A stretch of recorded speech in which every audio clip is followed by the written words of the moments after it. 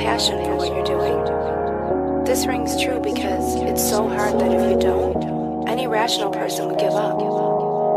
It's really hard, and you have to do it over a sustained period of time. So if you don't love it, and if you're not having fun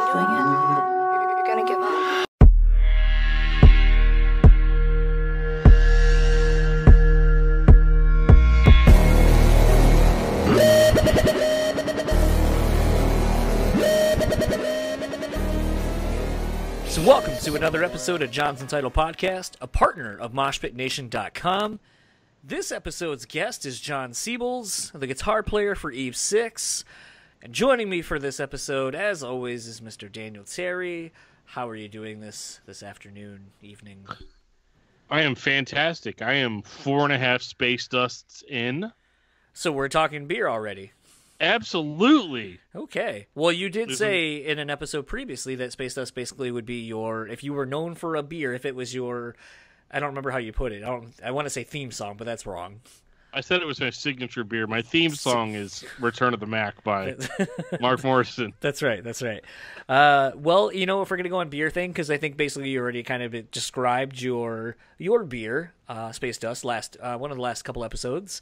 Um, tonight, I am just going with a trusty standby, uh, which I think is a really good uh, beer to kind of talk about our guest. I have Hamm's. It's, it's just a good go-to beer when you know you want to have a good time. And I honestly think that's kind of what Eve Six kind of is. Like when you're ready to just have a good time, throw on some tunes, and kind of feel a little bit nostalgic. It's always going to be there for you, just like Hamm's is. Dude, not a little bit nostalgic. It is like the ultimate nostalgic. How old were you in 1998? Oh, fuck. Are you going to make me do math right now? We just did this interview and I drank five or four and a half space dusts. Well, you have a half a space Um, dust to help you get to that math. Oh, Jesus. Okay, hold on. We're going to do the fucking math right here on the podcast live. All right. Okay. So um, I'm going to pull up a calculator because I'm that kind of guy. Uh huh. And let's see here. Do I have a calculator app on my MacBook? I'm pretty sure I do. Yeah, you should just have one on your phone. Anyway, for those, uh, while Dan's trying to figure out the math of how old he is, I'll just say this. I'm 34 now. I was 14 when this record came out, and I had just moved to Michigan two years prior, so. Uh, growing up a product of MTV and so forth, uh, and just kind of radio at that point, having a, a Walkman and a Discman as well. I was, Dan, I don't want you to be fooled by the rocks that I got, but uh, I was good enough to have both a Discman, a Sony Discman with the 10 sec, 30 second anti skip shock, uh, and I had a Walkman too that I also used to play and listen to the radio and my cassettes. But uh, yeah, Eve 6, 1998. I was. Uh, I was 14. Hadn't quite gone into high school. I was 13. There you go. So you would have been in what seventh grade? Something like that. I Yeah. remember watching uh, VH1's Top 20. and that was the first time I saw the video for Inside Out. And I remember being like, these guys are like really young. Like, not as young as I am, but It- young. It's funny you mentioned that because you mentioned it in our chat with Jon. And the thing that I thought was the most funny about that is I had the exact opposite approach where I was like, "Oh, these guys look like they're in their mid twenties. Like that's the that's the time frame when when bands uh, get popular and successful is when you're in your mid twenties because you've been doing it for a while and it, it takes you know a lot of time and dedication to your craft." Yeah, it does. I mean, what's funny is that so my big sister got me into like alternative and harder music. Like I got into alternative music first because that's what she liked. Most people have like a big brother that likes the music that shapes what kind of music they like. But in my case, it was my big sister, and she got me really into uh, bands like Eve Six and um, like Fastball and Local H and stuff like that. And so she was like a big like proponent of like you should listen to this kind of music. It's different than what mom and dad like. And uh, so I mean, me at like 12, 13 years old, Eve Six was my shit, man. All that aside, there's just a, a lot of nostalgia attached to uh, the Eve Six record. Uh, Dan and I have been commenting back and forth uh, leading up to this chat, uh, just kind of you know reminiscing about this time frame, who we were as people, uh, and I think this is kind of an integral part of, of both of our musical journeys growing up, uh, where we both. I can't speak for Dan specifically, but I would say like this is where I started to kind of getting into more alternative, more hard rock guitar driven stuff, you know, this is this is when follow the follow the leader came out this is where you know you're seeing a lot of the nu metal bands coming out and i definitely was inspired by a lot of those bands but i was equally on the other side and listening to bands like eve six so it's always been one of those things for me as a musician where i'm somewhere between you know follow the leader and eve six i don't know what that makes me but But no, I remember like when Eve Six was a big deal. Like, and I know that sounds like really condescending, and I don't mean it to. But uh, you know, I remember when this record came out, and like I said, I wasn't listening to like any of the metal shit that I listen to now. You know, all that came later, but um, this was definitely one of the first songs that I used to get really excited about when I would hear. Which I'm talking about, Inside Out, the the biggest single off the record and even uh, when they released uh, Leech, that was a pretty cool song too. They had a video for that one too, and I just uh, I remember thinking Eve Six was like I was like, oh my god, I could listen to this kind of shit forever, and that turned out to not be true. But like even then, I still get like really heavy nostalgic vibes from that record, and uh, especially with me and Jon listening to it this week and talking about it and comparing notes and stuff, you know, it definitely. Um, it was kind of a cool precursor to like you said in the interview of how all these younger bands kind of came out after that like good charlotte and stuff and started playing kind of a similar style you know in a lot of ways eve six kind of paved the way for you know kind of the pop punk bands that were going to come along later on even though i think they were still rooted more heavily in like alternative rock No, for sure. Uh, I think something we both have kind of commented on is that it sounds like what would become later Green Day. Like as far as some of the, the arrangements and, and the, the vocals, I, I don't know the vocals, but just kind of the arrangements themselves. And it's kind of funny because we were kind of both going like, oh, it kind of sounds like American Idiot, which wasn't out for another what three years.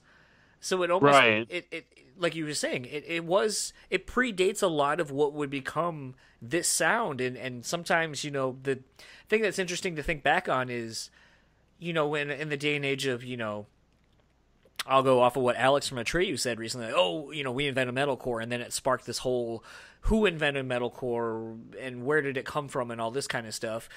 well It's- i did john Right. And you said that the me. last time, yes. So thank you for Yeah. your contributions and all the sacrifices you made being the pioneer. Uh, no problem no problem i mean that's what i'm here for but it's kind of funny thinking back to the fact that Eve Six kind of had a sound that wasn't really, you weren't really hearing it anywhere, and then it's like once they kind of came out, now you're kind of hearing it a lot more from other bands. So it's it's one of those where it's kind of interesting looking back at it now, 20 years later, thinking back to really the significance that Eve Six kind of played on the alternative, you know, rock scene. And we've talked a lot about uh, our upcoming conversation with Jon, so how about we just get right to it? This is our conversation. Yes, Dan and I both talked to Jon. So this is our conversation with Jon from Eve 6, and we will talk to you afterwards.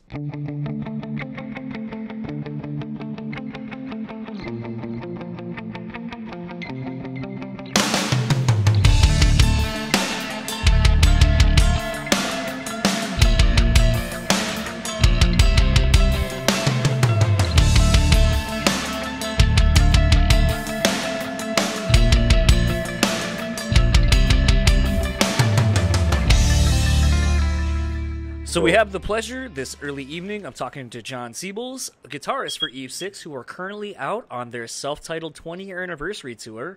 How are you doing? I know you're in uh, Utah right now, actually. Doing great. Yeah, first uh, first night of the tour tonight. Um, it's cold, but everything is good. Uh, it's going to get a lot colder when you're here in Grand Rapids in uh, about a week. I I know, I know. We're from LA, so we've been used to like the 80s for the past two weeks. when I was out in LA uh, earlier this year, everyone it was almost like going back to the East Coast, living here in the mid from living here in the Midwest, where uh, you know I would go out there and wear like maybe a hoodie and cut off jeans or something, and everyone's like, "Aren't you freezing?" And it's like. No, bitch. Like, this is like seventy degrees. Seventy degrees is just like normal weather. Like that's like summer, like heat heat wave for me.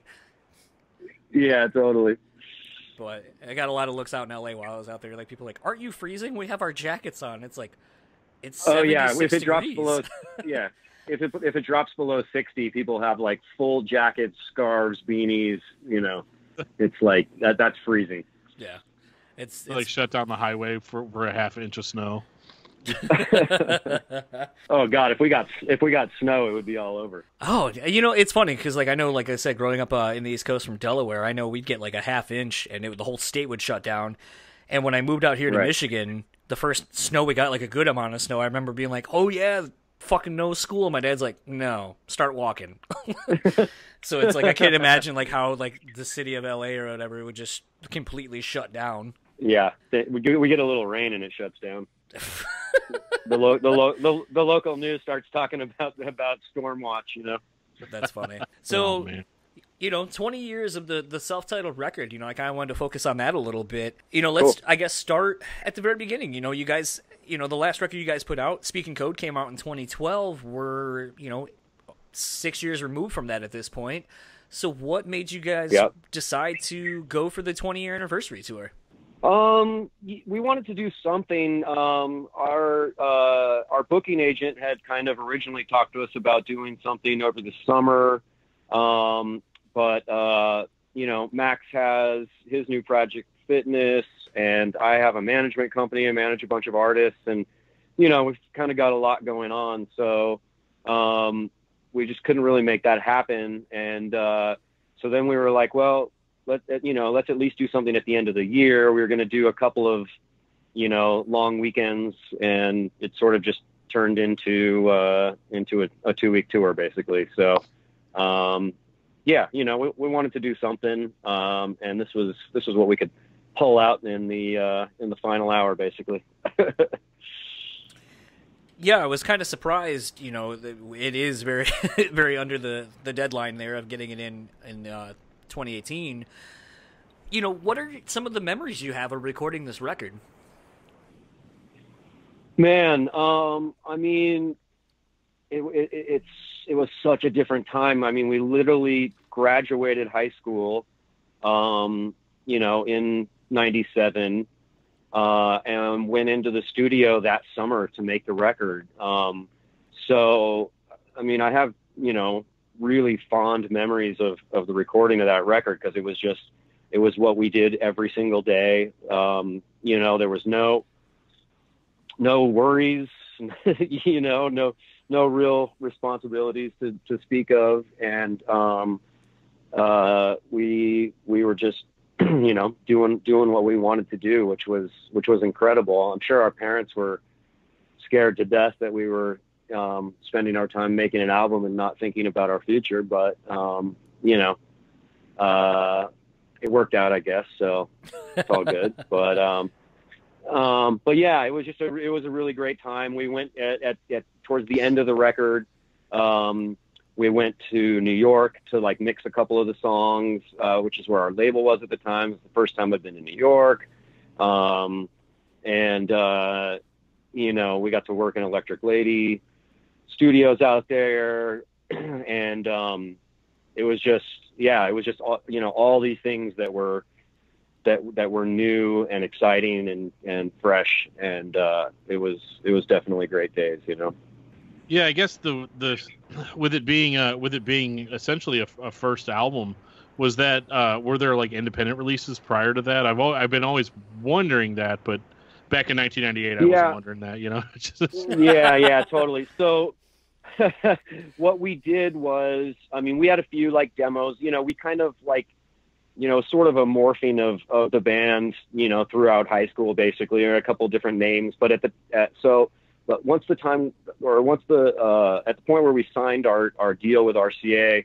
um we were still i think juniors in high school at that point so oh, wow. we were like, all right, cool. We're dropping, dropping out of school. We're going to do this. And our A&R guy was like, whoa, whoa, whoa, whoa, whoa. like, that's not going to happen.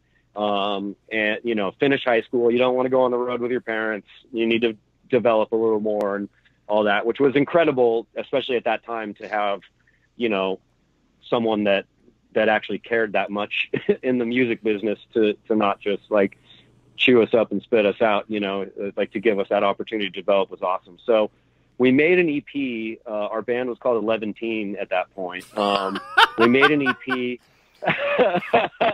we we made an EP, Um, it never got distributed. There were some CDs made. You know, um, the hardcores have gotten their hands on them uh, along the way, um, but they it was sort of like, you know, we took we took money that was, you know, like basically the label gave us some money and was just like, do do whatever you want to do until you know until it's time to make a real record. So we made an EP and we played shows and and um, bought some gear and all that. But so the first record was really our first official release, but you know we had recorded stuff previous. I just got to say, Eleventeen, the only reason I laughed is because I was thinking of uh, the the movie Haggard, that Bam Margera movie that he self put out. And in it, Uh, there's I a- don't. I haven't seen it. Oh my god, there's a scene where they're talking about this competition and Bam's character was like, "Fuck that, that's for 11 year olds." And just the absurdity of the the fact of calling someone an 11 year old is just very amusing to me. Right. So the fact that I Yeah. didn't know that your band was called 11 Yeah, we we thought we were pretty funny back in high school. I mean, that's, turns out we weren't. I think that's when everyone is their funniest actually. Yeah. Well, it's funny that you guys were that young because I remember seeing the uh, video for Inside Out on uh, VH1, and I was remember thinking, I was like, man, these guys have got to be like Mid 20s. 15, six. No, dude, I Yeah, thought yeah. younger than that, man. Like, I, Yeah. like you know, because in '98 I was obviously younger than that, even. But like, I remember thinking, like, wow, these guys are really young. Maybe that means that you know, if I start a band, I can, you know. So it was kind of cool to see that. I Hey, did start a band. It did not have a, a massively huge single on it though. You no, know- I mean, you know, it, it kind of, it definitely led, you know, to a lot of other, you know, sort of younger bands. I mean, at, at the time when we came out, it was, it was, you know, the the guys that were at least like in the alternative bands were definitely, you know, older than us, and uh, and then you know, all of a sudden it was like Good Charlotte, and you know, all these bands that that that were our age basically. So you know, it it, it, was actually it was cool, you know. Were you surprised at how instantly successful or how instantly it caught on the sing- the single of Inside Out landed for you guys? Yes, yes, and no. I mean, like, I, I knew enough to know that it was a huge deal, and that no matter how quick it happened, whether it was fast or slow, that you know, that that put us in a, a certain percentile of of of artists. That, you know, um, so we definitely knew that. Um, but then I think there's also another side of it where you're like, all of a sudden you start to be like, oh wow, we really are that good. you know and um i always tell my artists that i work with now like never believe you're as good as people tell you you are because that's when it'll just fuck every fuck everything up. You know what i mean? Right. um but so so it definitely you know we we definitely lost our uh undeveloped minds uh quite a bit but um but i think you know we also understood what it meant you know? So i I- i guess that's a yes and a no. Yeah, I think that uh I think it's interesting too because you know a lot of us, you know, like I've probably been in like five, six bands or whatever. So like that feeling of like, oh my god, I'm putting out my first official release, and now it's gotten huge, and now we're gonna go play all these places and do all these appearances. You know, what is what is that like on a young mind? I mean, is it just like is it confirmation of what you expected to happen, or was this like a total surprise? um i think it was a surprise but then once it happened we lost our minds for sure like Gotcha. they were they were fully gone for uh for a while you know i mean we still worked hard but we also we also lost our lost our pretty little minds for sure You know something I, I've kind of something I've kind of focused on on this podcast a little bit, getting to talk to a lot of bands that were kind of striking it big in the the middle to late '90s and early 2000s when I was kind of you know going through high school and so forth. Something uh-huh. that is interesting is to think about how, and you had kind of spoken to the fact that you were pretty much right out of high school when this happened, is thinking about how young you are, and now all of a sudden a label is looking at you to be a product, to make pretty, I would say, grown people decisions. And, and looking at you Mhm. to know your finances, your the business side of the music industry, basically looking back now, you know, 20 years later, do you think is it kind of interesting to kind of go back and look at all of the things that you kind of were responsible for or, or the things that maybe happened that you kind of had to deal with all for the first time and just kind of be like wow like no no high school graduate like coming right out of high school really should have to deal with all this shit. Like you know like how you were saying like someone your A&R dude basically was like hey look graduate high school get that at least under your belt and then let's kind of Right. get this thing going. Is it kind of surprising at such a young age like what the music industry is willing to kind of put three young people through Um, yeah, absolutely. And, um, you know, we were super lucky to have, uh, incredible management at the time. Stu Sobel, God rest his soul, uh, was, you know, he was definitely, he cared about us, uh, you know, like, uh, you know, as people. Um, and so I think we got really lucky there. But yeah, I mean, the industry, you know, uh, it, they definitely, you know, they chew you up and, and spit you out for sure. Um, uh, and then especially at, you know, as the industry changed, it, you know, when I really started to notice it was kind of between records two and three when, you know, Download. everything changed. Now downloading, all the labels started to merge. You know, all of a sudden we're heading into our third record, and the president of the label's different. The the you know the um, everything's different. You know, and and those people definitely did not care about us like the people who broke us. You know, um, so so yeah. I mean, you know, the the sort of um, you know the fleeting aspect of it became very real. Um, you know, I, I don't think, like, I don't feel like anyone took advantage of us. You know, I don't feel like anyone, you know, hey, I mean, people fucked us over here and there, but that's that's life. Um, but um, but yeah, it was it was still crazy to deal with at a young age, and I wish I knew then what I know now for sure. But I mean, again, that's that's just life. you know, I think Yeah. I think everyone can can relate to that in one way or another. You know? Yeah, if you were if you were a plumber, you would have a similar experience. Yeah.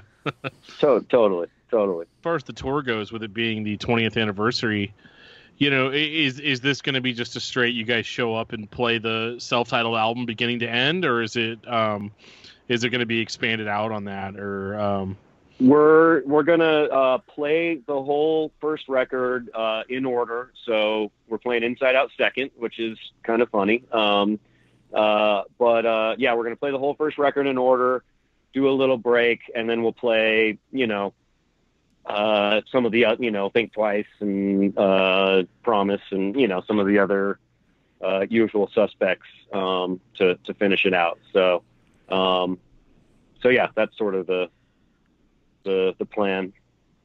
kind of piggybacking off of Dan's thing because you know I've had the the pleasure of actually seeing a lot of these anniversary tours in the last handful of years. I guess the byproduct of getting older. um, Yep.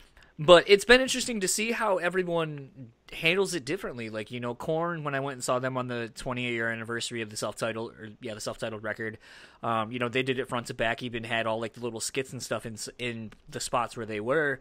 But then you know going to see a Right. band like Unearth, they did something that was pretty interesting, which is they made a set where they yes they played the entire record but they didn't play it in order Right. they kind of made a set based on their record and so it's been kind of interesting to see how bands tackle this whether they actually play it front to back legitimately like the statement would seem or if they kind of go all right let's look at these 10 to 11 songs and, and build a set based on this with ebbs and flows and so forth and you know maybe do an encore of you know Yeah. whatever you know the the other hits and so forth so I, you know it's it's funny to to see how bands kind of decide how they're going to actually do these anniversary things Yeah, I think the way that we look at it is that you know, at that time, you know, it was CDs, you know, and and and so you, we really focused on on the um on the sequencing of the album. You know, it wasn't like now where people just put out like single, single, single, single, and then it kind of turns into a record. And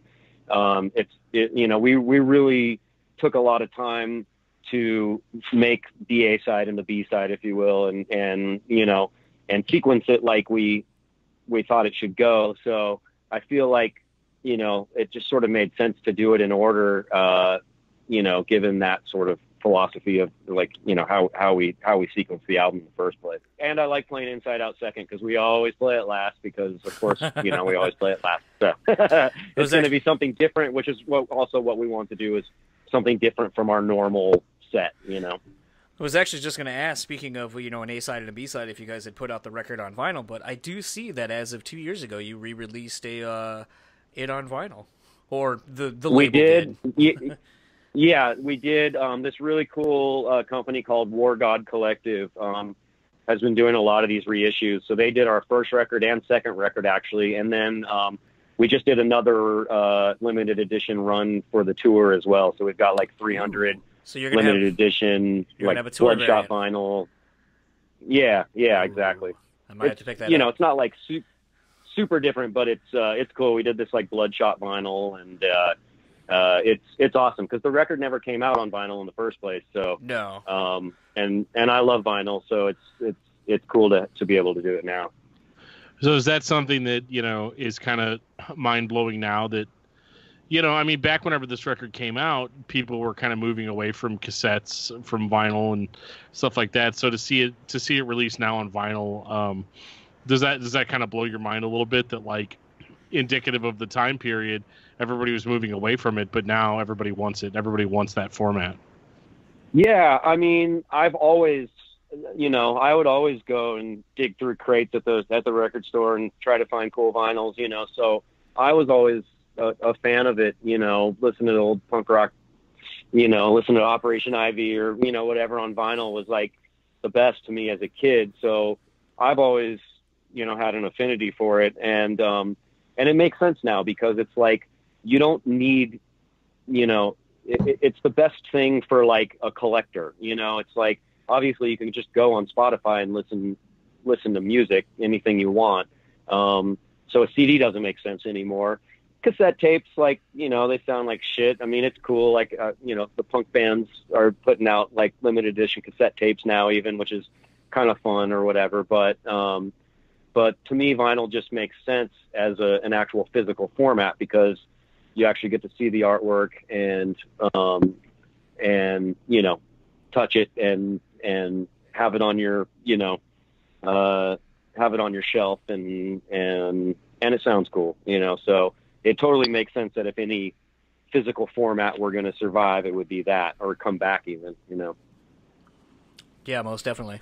I was kind of surprised in looking back, you know, going through the discography in the last couple of days leading up to this chat. I was I didn't remember that Horrorscopes was such a quick follow up. I thought there was a two year. I mean, because that's that's a typical release tour cycle. You know, drop an album tour for about a year, year and a half to do another one. So usually it's every two to three year kind of thing. So was Right. the was the follow up because you guys had so much material going into the self titled that it was easy to follow it up, or was it more of a a label wanting to strike while the iron was hot with Inside Out being a big single? I think it was the the latter. Um, I mean, a, a few of those ideas we had um, kind of kicking around, um, but but most of that record we wrote, you know, we'd kind of go into the studio with an idea and, and flush it out in the studio. Um, I think that uh, it was, it- you know, it was management, our our management and the label both knowing that, you know, we shouldn't wait five years. Um, and also um, you know it was interesting because the, the first record and second record were produced by Don Gilmore. Mhm. Um, so the first the first record, uh, I mean, he had done a few things, you know, um, but nothing nothing breakout, and so that was Hybrid basically theory. like the breakout. well, that came Well, after. he came after so- Horrorscopes, but I was gonna say like that was the thing when I looked at the record and the, the track listing and all that. I was like, oh, Don Gilmore produced this. I wonder how close Right. this was to Hybrid Theory. and then so it was like It the was- first two, and then basically, after. yeah. Yeah. So so so basically between um you know the first record where he hadn't done, I mean you know he had done cool shit like he had he had he'd done a lot of engineering on like Pearl Jam records and Mhm. you know he's kind of in that Seattle scene. But as an actual producer, uh, Inside Out was his first hit. So cut to two years later, he had done Lit and he had done Good Charlotte and he had done Linkin Park and and and all this stuff. So, you know, um, I think that it was sort of like, um, I mean, he was on a fucking roll at that point. He was our guy.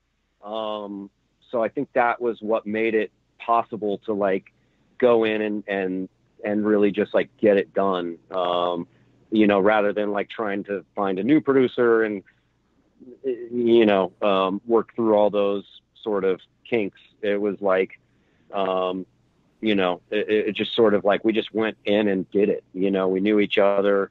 We were we were both sort of on this, um, you know, sort of breakout scenario, and uh, and it just it just we just went in and did it. You know.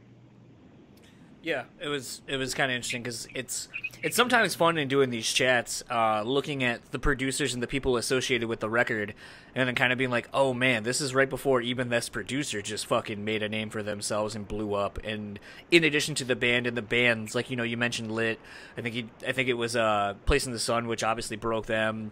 Uh, 2000, I think was Yep. uh, Linkin Park, Hybrid Theory. Like just the sheer Yep. records that this dude did that were like that Don did that like had such an impact on that that time stamp or that time frame is just kind of incredible to see like started with you guys and then just kind of kept rolling.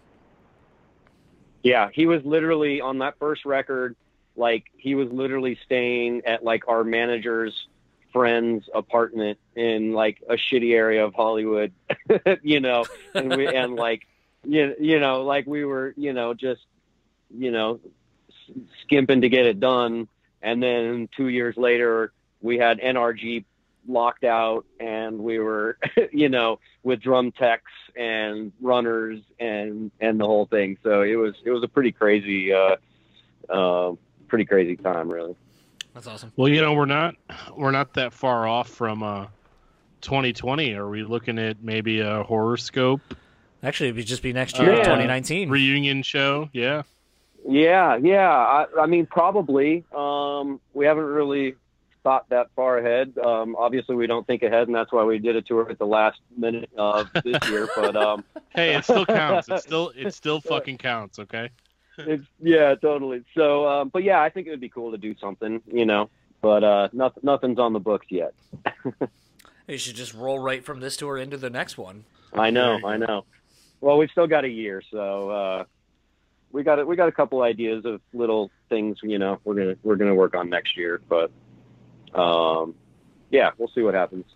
So, um, as far as a couple other things, is there currently plans for anything new to come out?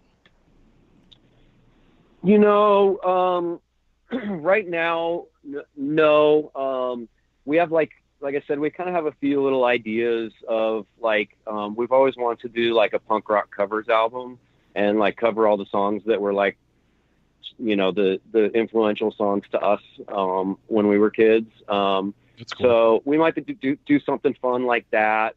We might do a single. Um, you know, I think I think at this point, you know, again, we're focused on other stuff. Max has got his band. I've got a management company, um, and you know, so it's like we don't necessarily want to do, at the moment, anyways, like an album and a year's worth of touring for it. Um, but sure. but but but on the same hand, you know, so I, I guess point being like anything that we do right now is going to be strictly for our fan base. You know, like we're not trying to we're not trying to like break a new single at radio right now. You know, it's it, it would be it would be strictly for those people that have have been there for for 20 years and still care. Um, and whatever happened beyond that would be would just be icing. But but um, so you know, we might do a single we might do this covers album, um, or, or at least EP. You know, stuff that's fun for us that that people will dig, but um, you know, again, without without trying to do a full uh, like album cycle promotion. I, I don't think. I think with everything else we've got going on, uh, that just wouldn't really really make sense right now. Sure, I understand. And you know, honestly, in in this day and age, even if it ended up just being one single, that's kind of the way Mhm. everybody's going anyway, as far as releasing content, because it's one of those things Yeah. where it doesn't make sense to record a full album, release a single off of that album, hope it tracks, hope it does well. You know, if you Right. if you throw a single out, then you already know all that information, and then if the single does well enough for you to be like, you know what, I think people are really clamoring for this. It helps you make a game plan better, I think, than just kind of shooting in the dark, which is what Yeah. kind of the industry had, had been doing for years at that point. Right, right, and and also just the time involved to get to that point. It's like to make a whole album, you know, and then and then release it and and tour behind it and and doing all that. It's you know you're talking about a couple years of stuff, and uh, yeah, and like you say, just to not even know what's really going to happen, you know, is is, uh, is tough. Um, and and again, honestly, the only thing we care about at this point when it comes to Eve Six are our fans, you know. So it's like uh, we would be doing it for them, not to try to like break a song at alternative radio because hey, maybe it could happen, but it's not. It's just not our focus, you know. Right. kind of in wrapping up, um, what is your favorite song off, to play off of this uh, this upcoming or off of the self-titled record that maybe you didn't get to play even back when it first came out? Yeah, we had to learn about half the record because we haven't ha- hadn't played hadn't played about five of those songs in probably 19 years, you know. Right. Um, uh, the the the uh, the unexpected one for me was Jesus Nightlight. It was kind of our quote unquote ballad, and at to be honest with you, like I ne- I didn't like it back in the day. Like when we when we did that song, I was like, I don't know, but I don't know about this song. It's, it's you know seems kind of boring to me.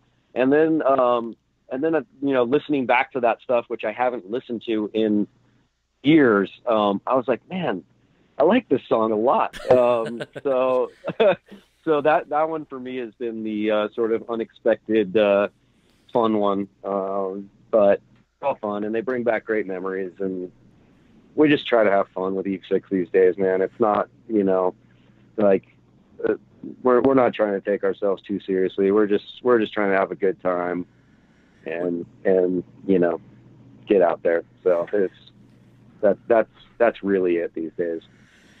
Well, looking forward to uh, catching you guys next week here in Grand Rapids. Uh, maybe if you have time, we can go to Founders and, and grab a beer. Uh, we are Beer For City sure, man. Yeah. as as well, obviously. um, Yeah, it'll uh, it'll probably have to be a non-alcoholic for me, but uh, I'm I'm down for that and down Oh, for a hang for we sure. have we have plenty of coffee houses by the venue.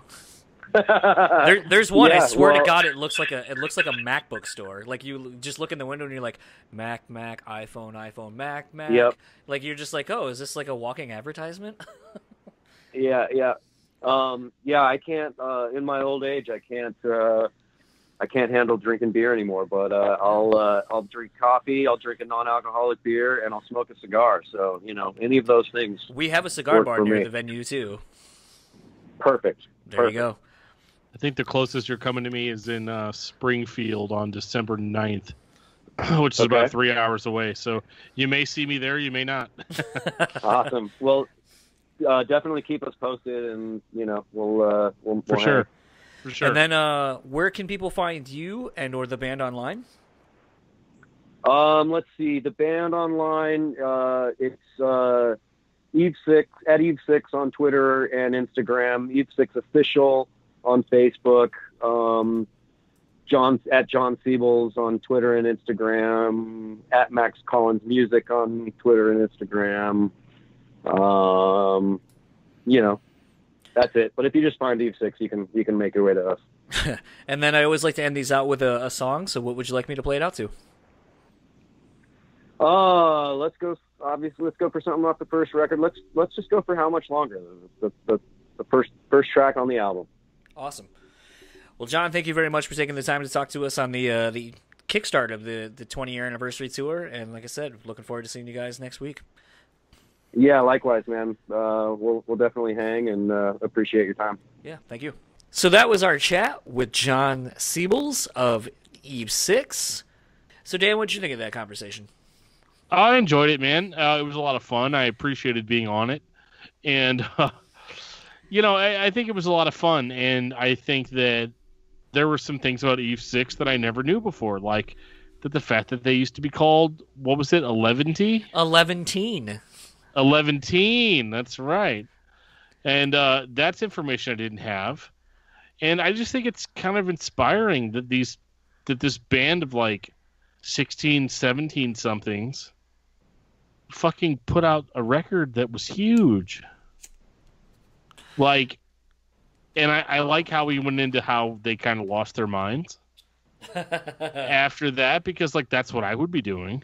Right. Because I mean, when you're when you're 17 and you're in a band and you put out a single like Inside Out, how do you not like spend every day being like, yeah, here's the thing though, I'm the shit. How do you not have that mindset? Um, all that aside, no, it was really fun talking with Jon. Um, you know, it's it's kind of it's, it's bittersweet, you know, seeing all these these albums that you grew up with turning, you know, 10, 15, 20 years old.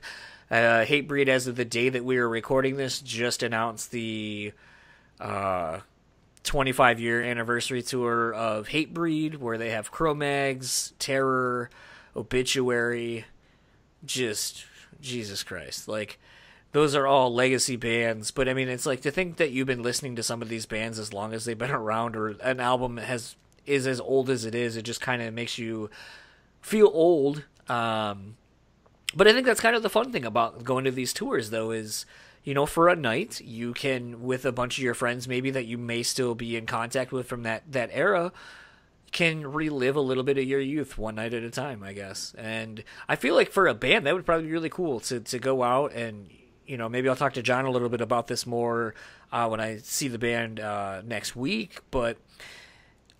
I think it'd be kind of interesting to just kind of to, to see people reliving their youth at your show in the in a, in celebration of like your your first record, and I feel like that's kind of got to be an interesting perspective to have. Yeah, absolutely. I mean, honestly, like I hadn't been following Eve Six that much over time, but I really enjoyed I really enjoyed his thoughts and just the the perspective that goes behind it because like 1998 was a vastly different time than 2018 obviously. I'm not just talking about years but like just the way the music industry is shaped and how differently it works now.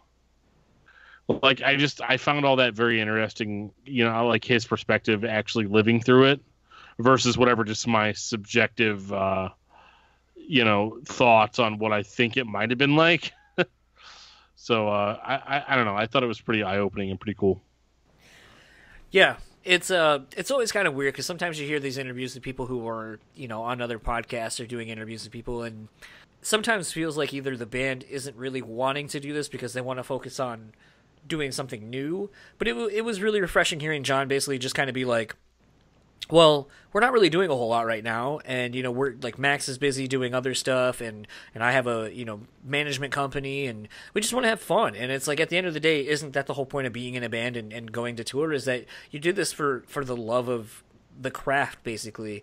And so to kind of do a 20 anniversary tour a lot of times it, it isn't i don't really feel like it's for the band at all. I feel like it's for their fans and it's kind of like I said, it's just refreshing to hear Jon be like, yeah, you know, anything we do from kind of here on out is more for our fans who have been with us for 20 years, and I think that's pretty commendable. Um, yeah, I thought it was commendable how he uh, was like, you know what, man, we, we might do something new, but it's just going to be for the fans.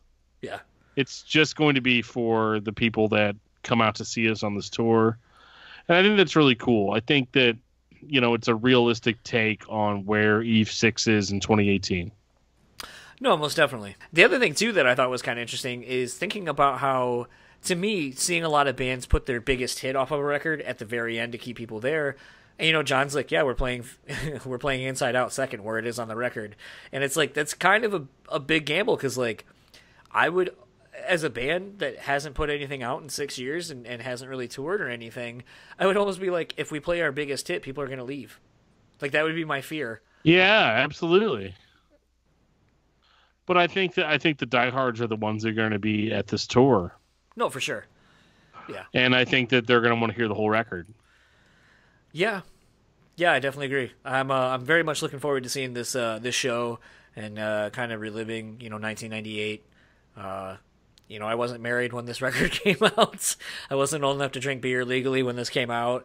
Uh, so it'll be uh, it'll be interesting uh, to kind of to, to, relive this this era uh, with a bunch of strangers in a in a venue. And if you would like to keep up with Eve Six and kind of follow them along on this nostalgia tour, uh, you can find them on Instagram and Twitter at Eve Six. And you can find them on Facebook at Eve6 Official. If you would like to keep up with Jon, you can find him on Twitter and Instagram under his name, Jon Siebels, S I E B E L S. Simple enough. And uh, Dan, where can people find you? You can find me on Facebook at Daniel Terry. You can find me on Twitter at Discuss Metal Dan. You can find my other podcast, Discography Discussion, at discussmetal.com. So if you can't find me at that point, it's your fault. It's true. And if you would like to keep up with all things the podcast, you can find us on Facebook, Instagram, and YouTube at Jon's Untitled Podcast. Tweet at us at Jon's Untitled Pod. Email us at Jon's Untitled Pod at gmail.com. And we are going to end this episode, as we always do, with a song. And as you heard John say, he wanted us to play it out to Eve 6's first track off of their subtitled debut, How Much Longer. So we're going to play it out to that, and we will talk to you guys next time.